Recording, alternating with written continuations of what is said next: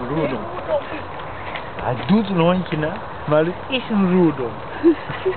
Nee, die doet... Nou, dat staat erop, Hank. Och jezus. YouTube.nl